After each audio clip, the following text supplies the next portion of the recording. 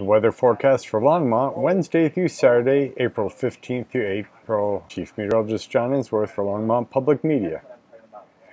Friday, April 17th, we'll have just after third quarter moon in the morning sky, so you got to get up early to see it. It rises at 2.32 a.m., so most people aren't going to see it unless you're out and about.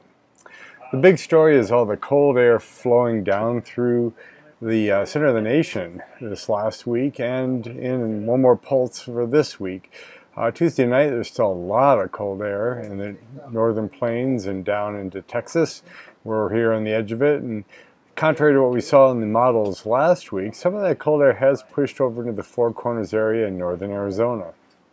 That's all driven down by a big trough dominating the entire nation with a north flow coming straight out of Canada and for Thursday PM, little spoiler alert, that's our next storm, uh, the cold air will be pushing down again. So we have a cold front hitting the mountains and going down into the Texas Oklahoma panhandles with some little warm air up ahead of it. It's not as large of a cold uh, air pool, but it's still pretty substantial, stretching all the way back up here, uh, covering most of Canada and the remnants of the previous cold front out in the eastern U.S.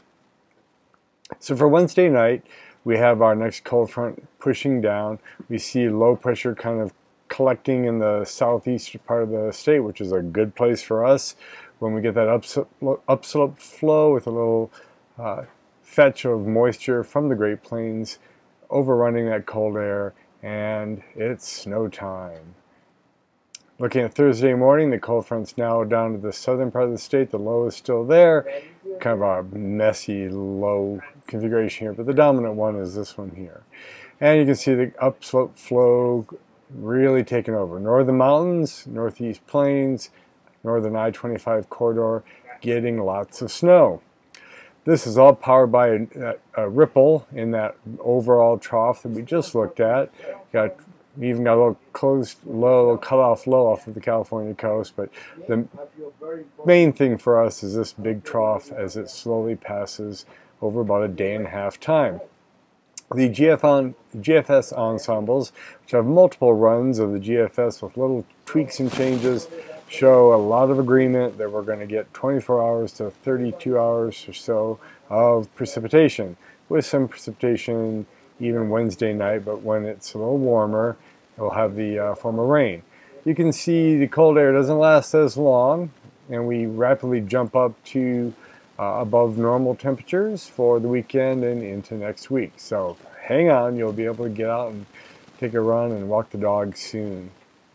The 10 to 1 ratio of snowfall up through Friday PM from the North American model has a pretty uh, impressive amount of snow, about 3 to 5 inches right in here. You can see it once again, just like the last storm, a strong gradient of snow up to a foot in the nearby foothills right along I-25 around Fort Collins, it's just an inch to three inches or so, maybe five inches on the western side, and then southern parts of the state get uh, skipped.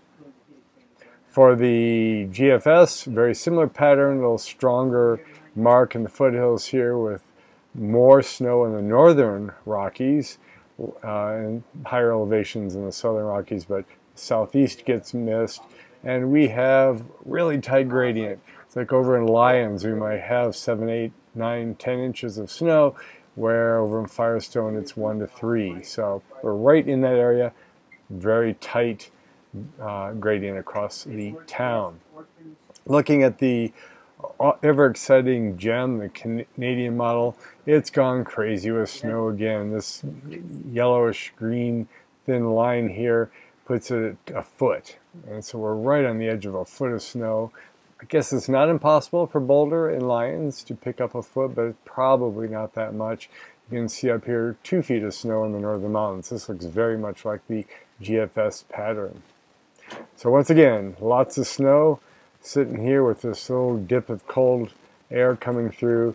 Going way out into the distance, we can see general storminess, but temperatures staying above this blue freezing line. So that will be rain, even if the ensembles paint a little bit of snow there.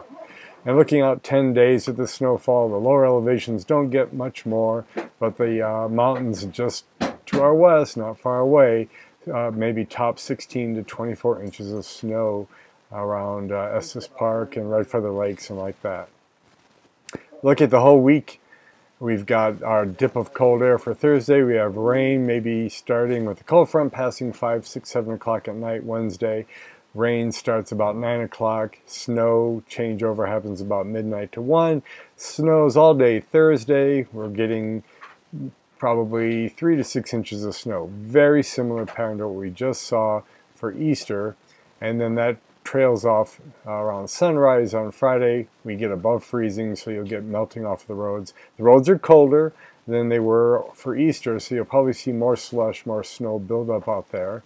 The weekend, we shoot up to 55 and then mid 60s for Sunday, and then even touch 70 for Monday before some showers and a little bit of cool down comes back Tuesday next week. For more local news, take a look at the Longmont Observer at longmontobserver.org, and you'll get more frequent weather updates and charts and maps and even precipitation totals after the fact at longmontobserver.org. For Longmont Public Media, this has been Chief Meteorologist John Ensworth. Keep looking up.